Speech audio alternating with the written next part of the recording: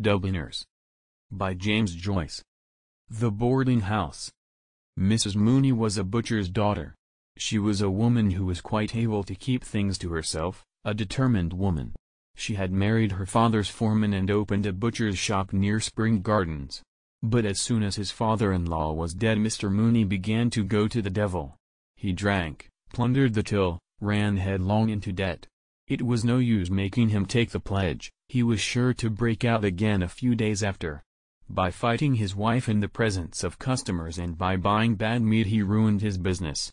One night he went for his wife with the cleaver and she had to sleep in a neighbor's house. After that they lived apart. She went to the priest and got a separation from him with care of the children.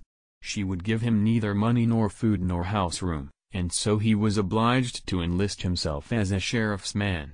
He was a shabby stooped little drunkard with a white face and a white mustache and white eyebrows, penciled above his little eyes, which were pink-veined and raw, and all day long he sat in the bailiff's room, waiting to be put on a job.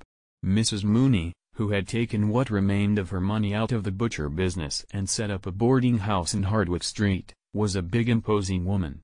Her house had a floating population made up of tourists from Liverpool and the Isle of Man and, occasionally, underscore artistes underscore from the music halls. Its resident population was made up of clerks from the city. She governed her house cunningly and firmly, knew when to give credit, when to be stern and when to let things pass. All the resident young men spoke of her as underscore the madam underscore. Mrs. Mooney's young men paid 15 shillings a week for board and lodgings, beer or stout at dinner excluded. They shared in common tastes and occupations and for this reason they were very chummy with one another. They discussed with one another the chances of favorites and outsiders. Jack Mooney, the madam's son, who was clerk to a commission agent in Fleet Street, had the reputation of being a hard case. He was fond of using soldiers' obscenities, usually he came home in the small hours. When he met his friends he had always a good one to tell them and he was always sure to be on to a good thing, that is to say, a likely horse or a likely underscore artista underscore. He was also handy with the mitts and sang comic songs. On Sunday nights there would often be a reunion in Mrs. Mooney's front drawing room. The music hall underscore artistes underscore would oblige and Sheridan played waltzes and polkas and vamped accompaniments. Polly Mooney, the madam's daughter, would also sing. She sang. Underscore I'm a naughty girl. You needn't sham, you know I am. Underscore. Polly was a slim girl of 19, she had light soft hair and a small full mouth. Her eyes, which were gray with a shade of green through them, had a habit of glancing upwards when she spoke with anyone, which made her look like a little perverse Madonna. Mrs. Mooney had first sent her daughter to be a typist in a corn factor's office but, as a disreputable sheriff's man used to come every other day to the office, asking to be allowed to say a word to his daughter, she had taken her daughter home again and set her to do housework. As Polly was very lively the intention was to give her the run of the young men. Besides, young men like to feel that there is a young woman not very far away. Polly, of course, flirted with the young men but Mrs. Mooney, who was a shrewd judge, knew that the young men were only passing the time away, none of them meant business. Things went on so for a long time and Mrs. Mooney began to think of sending Polly back to typewriting when she noticed that something was going on between Polly and one of the young men. She watched the pair and kept her own counsel. Polly knew that she was being watched, but still her mother's persistent silence could not be misunderstood. There had been no open complicity between mother and daughter, no open understanding but, though people in the house began to talk of the affair, still Mrs. Mooney did not intervene. Polly began to grow a little strange in her manner and the young man was evidently perturbed.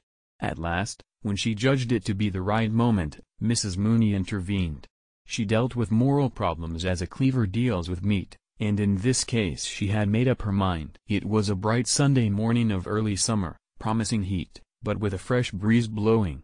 All the windows of the boarding house were open and the lace curtains ballooned gently towards the street beneath the raised sashes.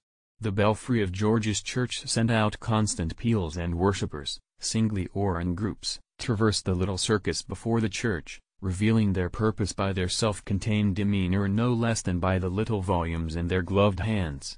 Breakfast was over in the boarding house and the table of the breakfast room was covered with plates on which lay yellow streaks of eggs with morsels of bacon fat and bacon rind. Mrs. Mooney sat in the straw armchair and watched the servant Mary remove the breakfast things. She made Mary collect the crusts and pieces of broken bread to help to make Tuesday's bread pudding. When the table was cleared, the broken bread collected, the sugar and butter safe under lock and key, she began to reconstruct the interview which she had had the night before with Polly. Things were as she had suspected, she had been frank in her questions and Polly had been frank in her answers. Both had been somewhat awkward, of course. She had been made awkward by her not wishing to receive the news in too cavalier a fashion or to seem to have connived and Polly had been made awkward not merely because allusions of that kind always made her awkward but also because she did not wish it to be thought that in her wise innocence she had divined the intention behind her mother's tolerance. Mrs. Mooney glanced instinctively at the little gilt clock on the mantelpiece as soon as she had become aware through her reverie that the bells of George's church had stopped ringing. It was seventeen minutes past eleven, she would have lots of time to have the matter out with Mr. Doran and then catch short twelve at Marlborough Street. She was sure she would win. To begin with she had all the weight of social opinion on her side, she was an outraged mother. She had allowed him to live beneath her roof assuming that he was a man of honor, and he had simply abused her hospitality. He was 34 or 35 years of age, so that youth could not be pleaded as his excuse, nor could ignorance be his excuse since he was a man who had seen something of the world. He had simply taken advantage of Polly's youth and inexperience, that was evident. The question was, what reparation would he make? There must be reparation made in such cases. It is all very well for the man, he can go his ways as if nothing had happened, having had his moment of pleasure, but the girl has to bear the brunt. Some mothers would be content to patch up such an affair for a sum of money, she had known cases of it. But she would not do so. For her only one reparation could make up for the loss of her daughter's honor, marriage. She counted all her cards again before sending Mary up to Mr. Doran's room to say that she wished to speak with him.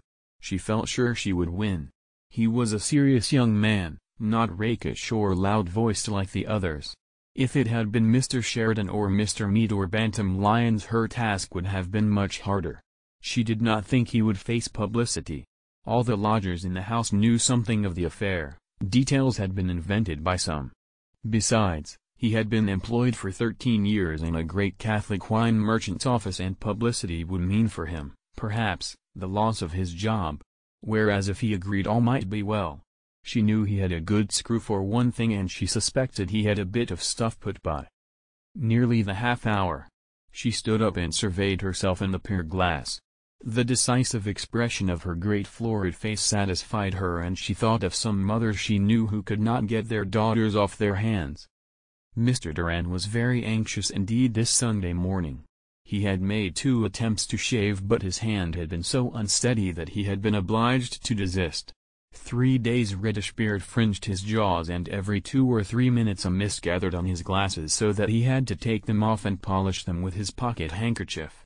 The recollection of his confession of the night before was a cause of acute pain to him. The priest had drawn out every ridiculous detail of the affair and in the end had so magnified his sin that he was almost thankful at being afforded a loophole of reparation. The harm was done. What could he do now but marry her or run away? He could not brazen it out. The affair would be sure to be talked of and his employer would be certain to hear of it. Dublin is such a small city, everyone knows everyone else's business. He felt his heart leap warmly in his throat as he heard in his excited imagination old Mr. Leonard calling out in his rasping voice, Send Mr. Doran here, please. All his long years of service gone for nothing. All his industry and diligence thrown away. As a young man he had sown his wild oats, of course, he had boasted of his free thinking and denied the existence of God to his companions in public houses. But that was all past and done with, nearly. He still bought a copy of underscore Reynolds's newspaper underscore every week but he attended to his religious duties and for nine-tenths of the year lived a regular life. He had money enough to settle down on, it was not that. But the family would look down on her. First of all there was her disreputable father and then her mother's boarding house was beginning to get a certain fame. He had a notion that he was being had. He could imagine his friends talking of the affair and laughing. She underscore was underscore a little vulgar, sometimes she said I seen and if I had have known. But what would Granarm matter if he really loved her? He could not make up his mind whether to like her or despise her for what she had done. Of course he had done it too. His instinct urged him to remain free, not to marry. Once you're married you are done for, it said. While he was sitting helplessly on the side of the bed in shirt and trousers she tapped lightly at his door and entered. She told him all, that she had made a clean breast of it to her mother and that her mother would speak with him that morning. She cried and threw her arms round his neck, saying, Oh Bob! Bob! What am I to do? What am I to do at all? She would put an end to herself, she said. He comforted her feebly, telling her not to cry, that it would be all right, never fear. He felt against his shirt the agitation of her bosom. It was not altogether his fault that it had happened. He remembered well, with a curious patient memory of the celibate, the first casual caresses her address, her breath, her fingers had given him. Then late one night as he was undressing for bed she had tapped at his door, timidly. She wanted to relight her candle at his for hers had been blown out by a gust. It was her bath night. She wore a loose open combing jacket of printed flannel. Her white instep shone in the opening of her furry slippers and the blood glowed warmly behind her perfumed skin. From her hands and wrists too as she lit and steadied her candle a faint perfume arose. On nights when he came in very late it was she who warmed up his dinner. He scarcely knew what he was eating, feeling her beside him alone, at night, in the sleeping house. And her thoughtfulness. If the night was anyway cold or wet or windy there was sure to be a little tumbler of punch ready for him. Perhaps they could be happy together. They used to go upstairs together on tiptoe, each with a candle, and on the third landing exchange reluctant good nights. They used to kiss, he remembered well her eyes, the touch of her hand and his delirium. But delirium passes. He echoed her phrase, applying it to himself, underscore what am I to do? Underscore the instinct of the celibate warned him to hold back. But the sin was there, even his sense of honor told him that reparation must be made for such a sin. While he was sitting with her on the side of the bed Mary came to the door and said that the missus wanted to see him in the parlor. He stood up to put on his coat and waistcoat, more helpless than ever. When he was dressed he went over to her to comfort her. It would be all right, never fear. He left her crying on the bed and moaning softly, underscore oh my god. Underscore. Going down the stairs his glasses became so dimmed with moisture that he had to take them off and polish them. He longed to ascend through the roof and fly away to another country where he would never hear again of his trouble and yet a force pushed him downstairs step by step. The implacable faces of his employer and of the madam stared upon his discomfiture. On the last flight of stairs he passed Jack Mooney who was coming up from the pantry nursing two bottles of underscore Bass underscore. They saluted coldly, and the lover's eyes rested for a second or two on a thick bulldog face and a pair of thick short arms. When he reached the foot of the staircase he glanced up and saw Jack regarding him from the door of the return room. Suddenly he remembered the night when one of the music hall underscore artistes underscore, a little blonde Londoner, had made a rather free allusion to Polly. The reunion had been almost broken up on account of Jack's violence. Everyone tried to quiet him. The music hall underscore artiste underscore, a little paler than usual, kept smiling and saying that there was no harm meant, but Jack kept shouting at him that if any fellow tried that sort of a game on with underscore his underscore sister he'd bloody well put his teeth down his throat, so he would. Polly sat for a little time on the side of the bed, crying. Then she dried her eyes and went over to the looking-glass. She dipped the end of the towel in the water jug and refreshed her eyes with the cool water. She looked at herself in profile and readjusted a hairpin above her ear. Then she went back to the bed again and sat at the foot. She regarded the pillows for a long time and the sight of them awakened in her mind secret amiable memories. She rested the nape of her neck against the cool iron bed rail and fell into a reverie. There was no longer any perturbation visible on her face.